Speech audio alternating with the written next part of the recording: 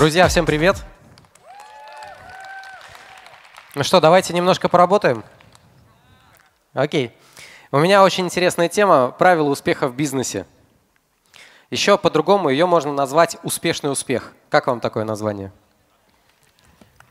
Кто еще не подписан на мой инстаграм, подписывайтесь. Там много интересного. Уже видеовизитка меня представила. Будете смотреть на моего чилийца и на моего мексиканца. Погнали. Итак, успешный успех. Согласитесь, это сейчас очень модно. Мне кажется, нет ни одного человека с более чем 10 тысячами подписчиков в Инстаграм, который бы не сделал своего курса про успешный успех. Это сейчас тема очень сильно муссируется, да, и на ней очень много эксплуатации в том числе. Почему? Потому что сейчас есть запрос на то, чтобы э, переходить в разряд более успешных людей. Согласны? Это тренд, особенно в России. И поэтому все ищут вот эту волшебную пилюлю. А как кнопка бабло? Да? Нажал, и все работает. И я хотел бы на эту тему сегодня с вами тоже поговорить. Потому что, как мне кажется, есть две крайности, и мы с вами вместе вот эту формулу успешного успеха сегодня выберем, сегодня сделаем. И, как мне кажется, э, мы будем идти от обратного. То есть сначала мы с вами поговорим про две крайности, о которых очень много на различных курсах говорят, и которые, как мне кажется, не ведут к успеху. Это крайности, в которых не надо вдаваться. А вот после того, как мы с вами крайности эти проанализируем, мы уже выведем с вами ту формулу идеального баланса, которая действительно дает успех. Окей? Поймай, э, крайность номер один. Поймать дзен. Понимаете, о чем это? Медитируй, и больше ничего не надо. Просто сиди дома целый день и медитируй. Не надо проводить встреч, не надо заниматься бизнесом. Все само придет. Просто медитируй. Или поработай над своим внутренним состоянием, и опять же ничего не надо делать. Знакома такая история? То есть сейчас очень много внимания уделяется внутреннему состоянию, но под таким углом, под которым понятие действие подменяется. То есть э, людям хочется и э, люди хотят меньше делать и больше думать о том, как правильно делать. И что получается в результате? В результате вместо того, чтобы действовать, да, люди ударяются в крайность. Это посещение, постоянное посещение курсов. Кто знает людей, которые постоянно посещают какие-то курсы? Причем это может быть абсолютно разнообразная история. Да? От э, нарисуй картину до там, не знаю, курсы э, эзотерики. Но, к сожалению, эти люди, они в основном не внедряют полученные знания в жизнь. И поэтому это все ну, пустое, это ненужная история. Там, второе заблуждение. Медитируй по три часа в день, и будет тебе счастье. Опять же, медитация – это круто, это клево.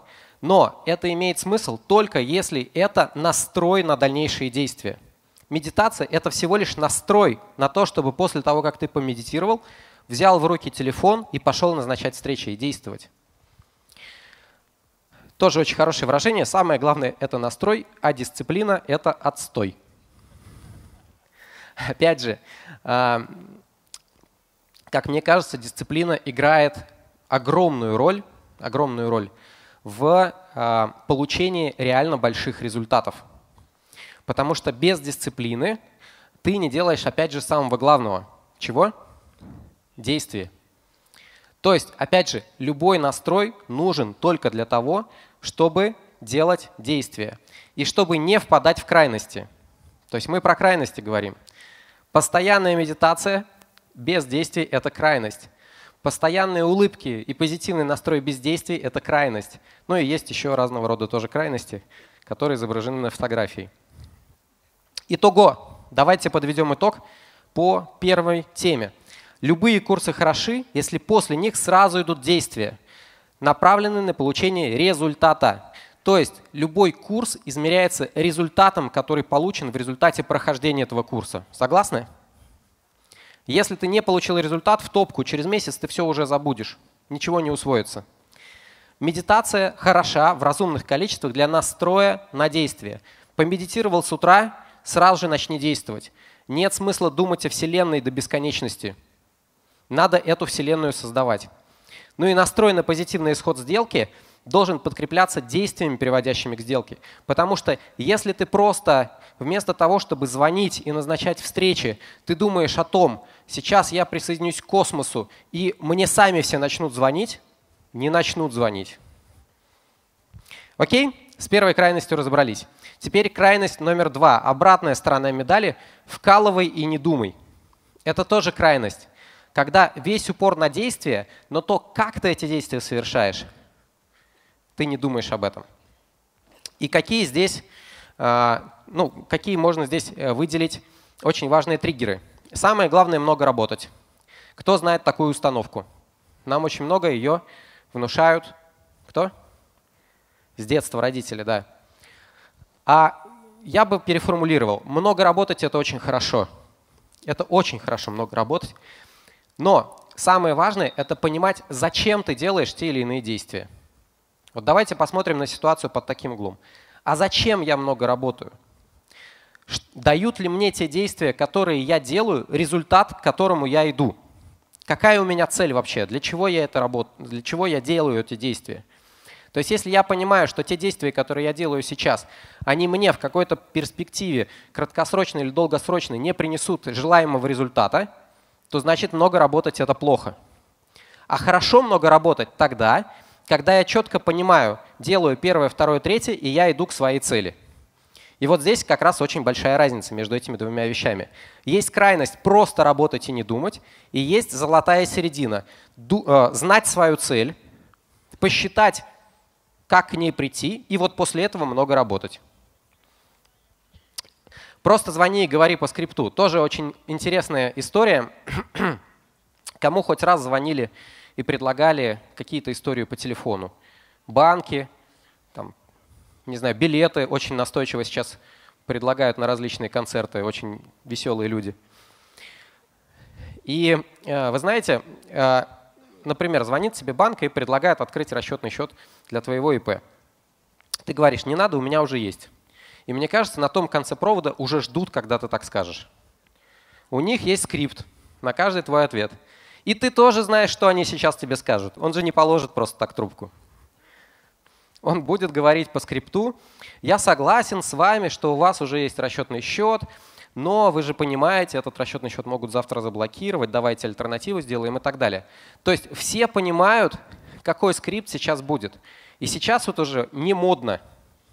Сейчас не модно работать по скрипту. Потому что в любой скрипт надо добавлять для того, чтобы это стало интересным для того, кто тебя слушает, твое видение. На примере партнерской программы UDS мы можем делать очень много действий по скрипту, но не получать результата. Почему? Потому что те люди, к которым ты приходишь и предлагаешь нашу партнерскую программу, они не видят тебя, они видят менеджера, который просто по скрипту рассказывает презентацию – а где ты в этой схеме? И мне здесь нравится очень классное выражение Валера Альшанского, который как-то рассказал, я не приглашаю людей продавать лицензии, я приглашаю людей захватывать рынок вместе со мной. И обратите внимание, как это звучит по-разному. Одно дело, ты предлагаешь продавать продукт, а другое дело, ты зовешь людей вместе с собой в крупный масштабный бизнес, где сейчас наполненность рынка полтора процента – Осталось немножко, 98,5. И можно эти 98,5% получить себе в команду и получать каждый месяц абонентские платы, вознаграждения и так далее. Так еще и по пути очень много денег заработать. Ну и, наверное, третья э, крайность в этой, в этой крайности – это то, что учиться новому не обязательно, достаточно совершать действия. Здесь тоже крайность. Крайность много учиться и крайность не учиться совсем. Чему надо учиться? Чему действительно надо учиться, по моему мнению? Да тому, э, надо учиться тому, что ждет тебя завтра. Например, Опять же, про наш бизнес. Мы все начинаем с одного и того же.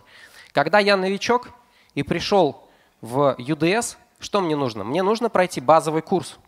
Без базового курса я не смогу делать базовые действия. Когда я научился делать базовые действия, мне ну, нужно научиться приглашать партнеров в команду. Когда я научился приглашать партнеров в команду, мне нужно научиться, как быть куратором, как воспитывать других людей в нашем бизнесе. Когда у меня много партнеров в нашем бизнесе, мне нужно научиться, как взаимодействовать с большой командой. То есть учиться надо постоянно. Просто надо учиться тому, что тебе завтра будет давать результат. Если ты видишь, что у тебя собирается команда, тебе надо научиться, как работать с этой командой. То есть все обучения, они должны быть практически под тот запрос, который есть у тебя сейчас. Понимаете, о чем я? Окей. Иначе, иначе может быть вот так. То есть, например, если ты постоянно делаешь одно и то же, не развиваешься в том, чтобы завтра ты уже меньше встреч проводил, а больше работал с командой, то тогда ты постоянно будешь как на фотографии вот в шести руках, с шести руками. Да?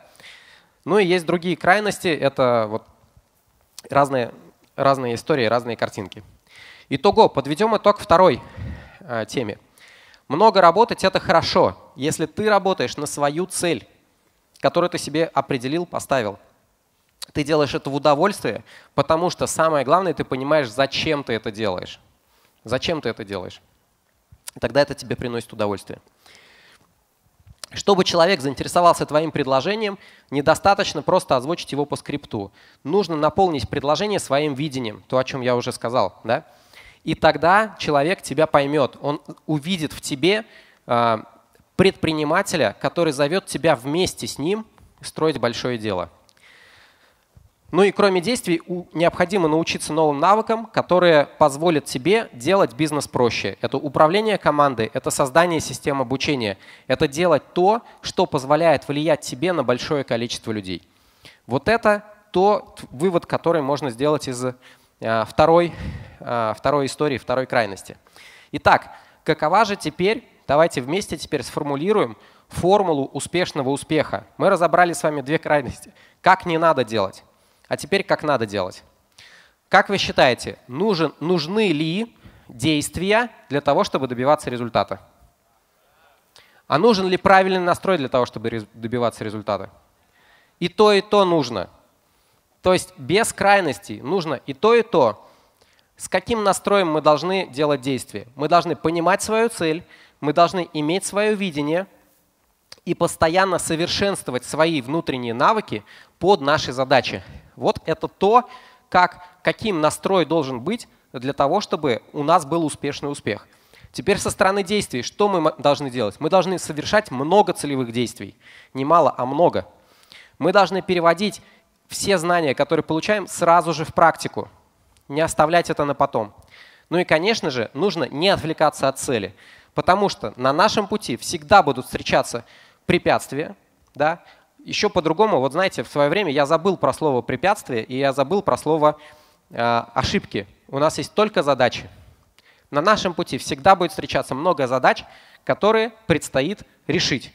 На нашем пути всегда могут встречаться много людей, которые нам мешают решать те или иные задачи. Их надо просто обходить стороной. И вот в таком формате мы всегда двигаемся к своей цели – с правильным настроем, с максимальным количеством действий мы всегда добьемся своей цели, чем бы ты ни занимался. В партнерстве с UDS это можно делать гораздо быстрее, эффективней и с удовольствием. Поэтому спасибо вам большое за внимание. Я закончил. Спасибо.